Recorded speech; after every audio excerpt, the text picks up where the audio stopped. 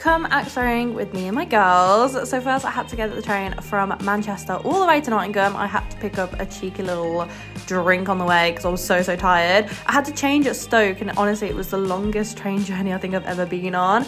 Arrived in Nottingham, we had a little Nando's, his plant. Oh my God, the food was amazing and it came really, really fast. You know what? Very impressed with this Nando's. Here's Daisy bringing over all the sauces because she was late. And then we arrived at the axe throwing place. And then here's Jenny.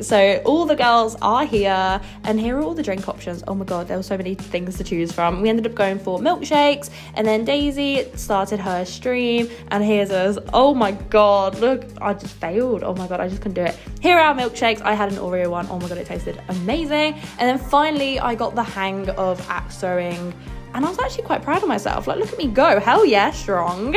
And then that was it, that was our day.